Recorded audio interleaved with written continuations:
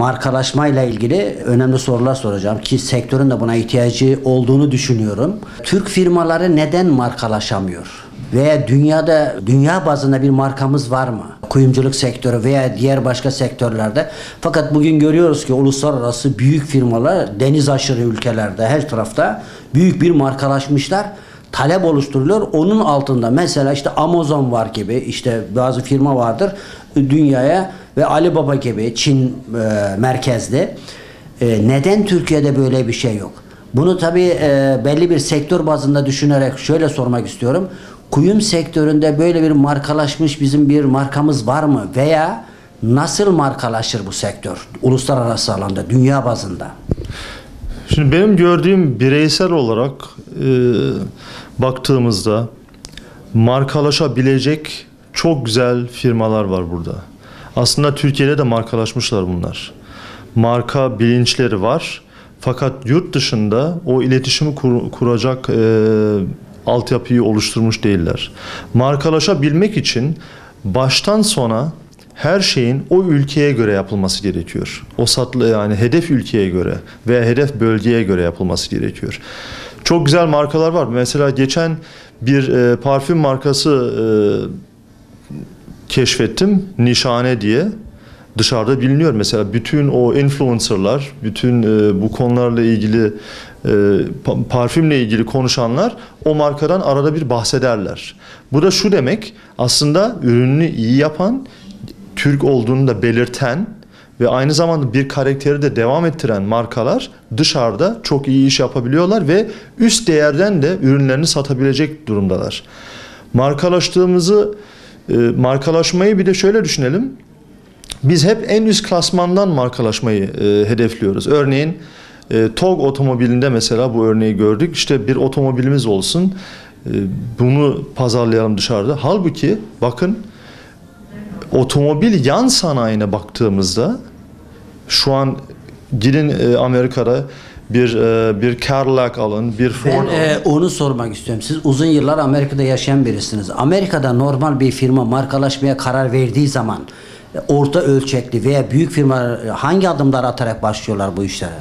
Şimdi markalaşabilmek için önce yapının bir talebe cevap vermesi gerekiyor. Bir konuda bir hedef seçilir ve bunun üzerine çalışmalar yapılır.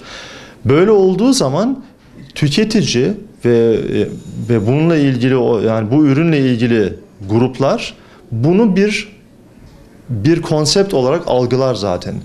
Zaten dikkat edin marka demek logo gerekmez demek.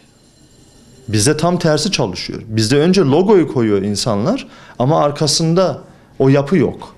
Siz önce bir yapıyı kurun, üzerine o yapıya uygun logonuzu yerleştirin. Ondan sonra bir marka olursunuz. Background mı daha önemli diyorsunuz? Background daha önemli tabii ki. Bizde çok e, dış yüzeye çok önem e, önem veriliyor. Bu bir açıdan güzel olabilir tabii ki şekil olarak filan. Fakat şekilden çok karakter önemli. içi önemli. Yani bir Aristo Platon e, açısından bakarsak Aristo'nun e, dış yapıya önem verdiği, Platon'un ise iç dünyaya önem verdiğini görebilirsek bu daha çok platonik bir yapı gerektirir markalaşma. Önce bir e, içini dolduralım. Önce bir suyumuz olsun. Ondan sonra o kabı o suya o suyun fazlalığına göre e, ona şekil verebiliriz zaten şeklinde bir bakmamız gerekiyor. Yani önce bir inanıp sonra ruhu, ruhu vermek mi lazım? Evet. Yani ben diyelim ki bir e, bir büyük pır- pırlanta markalarına baktığımızda takı markalarına işte bir Tiffany's, Graf, işte Cartier filan bunlara baktığımızda kendilerine has bir yapıları var.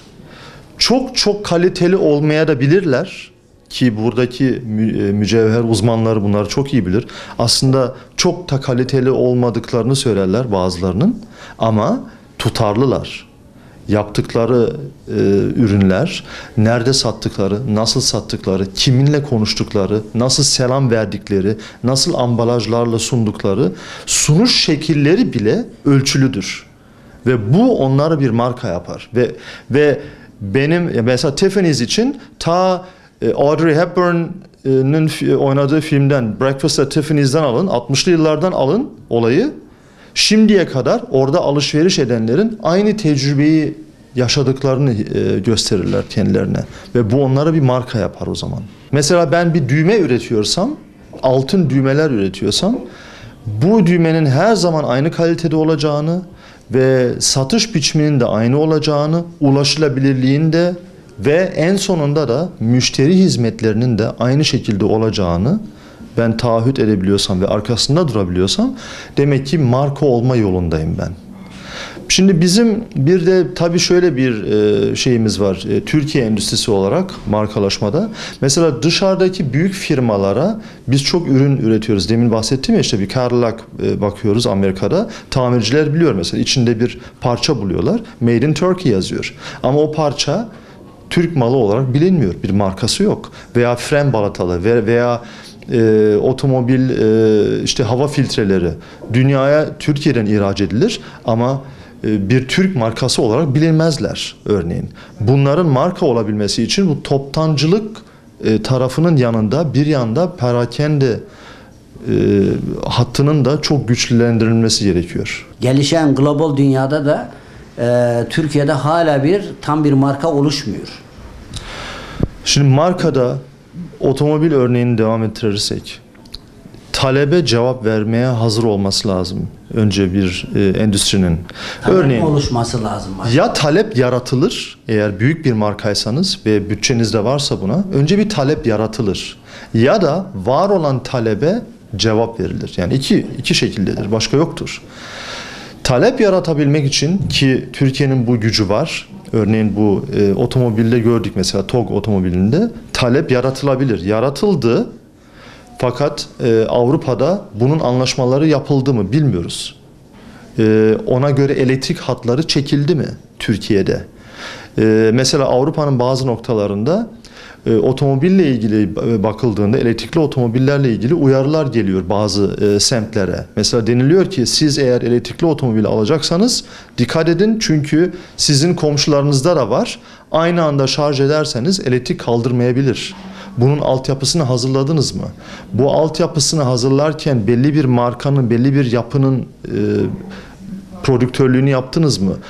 Ee, üretiminizi mesela recall'lar oluyor e, Avrupa'da, Amerika'da. E, örneğin bir otomobilin bir yanlışı olduğu zaman farz edelim ki bir airbag'te bir sorun çıktı örneğin Toyota'nın. Bunun bütün dünyada veya diyelim ki belli bir ülkede çıkan bir e, modelinde hemen bir recall oluyor. Arabalar geri çevriliyor. Gidiyorsunuz servise bedava o, e, yenisi takılıyor size ve e, yolunuza devam ediyorsunuz. Bu recall'lara hazır mıdır mesela? Ne kadar tüketiciye rahatlık sağlarsa bu endüstriyel e, yapılarda o kadar o marka olmaya aday olur o ürün. Fakat e, lüks ürünlerde yaklaşımlar tabii ki farklı. Onları o uzmanlar belirler. O e, o segmentlerde nasıl satılacağını. Örneğin mücevher e, ve ve elmas e, yani pırlantara daha doğrusu e, bu konular nasıl olacağı. Zaten bir ürünü iyi bilen segmentini de otomatikman bilir. Nereye doğru gideceğini. Ee, diyelim ki Cartier seviyesinde bir ürün çıkarılacaksa zaten bunu üretenler der ki benim hedef kitlem bunlar. Bu kişiler. Ee, böyle bir yaşam tarzı olanlar. Şu kadar ek bütçesi olanlar. Ee, buna İngilizce'de discretionary spending diye. Hani e, gereklinin dışında olan harcama yetisi gibi algılayalım. Bunun kesin e, buradaki finansçıların bildiği bir kelime vardır bu konuda. Ar-Ge, yani araştırma mı diyebilir miyiz? Arge sistemi. Yok discretionary yani benim keyfi harcayabileceğim bir bütçe anlamında. Ha, keyfi. Bireysel olarak yani firma işte evet. Bunun bunun e, elit tabaka elit tabaka. Ee, tabii ne konuda elit oldukları ayrı bir şey. Şimdi parası olup hangi şekilde elit olduğu o da ayrı bir tartışma konusu. Ee, yani bu tip e, soruların cevaplarını iyi verebiliyorsa bir e, ürün bir üretici demek ki onlara hitaben ürün üretmeyi de biliyor. Bir de tabii ki uluslararası çapta bu devletin de ona göre bir e, yapı geliştirmesi gerekiyor. Yani ihracatı kolaylaştırıcı. İhracatın kolaylaşması için ithalatın da kolaylaş kolaylaşması yani gerekiyor. Bu politikayla beraber gidiyor. Tabii, bunun paralel bu da gidiyor. önemli. Satsan bile nasıl göndereceksin? Bu da tabii devletler çünkü, arası. Çünkü karşı taraf diyor ki ben sana gönderemiyorum ki sen bana gönderesin. Bir de öyle bir şey de var. Yani iç kafalarda öyle geçiyor. E şimdi bunları da iyi bir şekilde masaya yatırmak lazım. Mesela bizim e, biz Avrupa topluluğuna üyeyiz, değil mi? Gümrük Birliği'ne e, Avrupa topluluğundan yani e, biz Avrupa'dan en çok yararlanan ülkelerden biriyiz.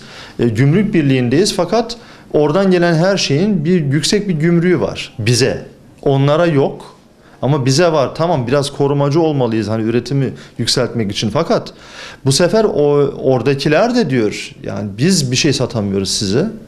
Ee, siz niye burada satasınız gibi bir bir e, Devletler arası anlaşmalarda geri planda yapılması gerek diyorsun. planda yapılması gerekiyor. Çünkü bunların çoğu şeyi ortalıkta konuşulmayan konular. Çok teşekkür ediyorum. Ben teşekkür ederim.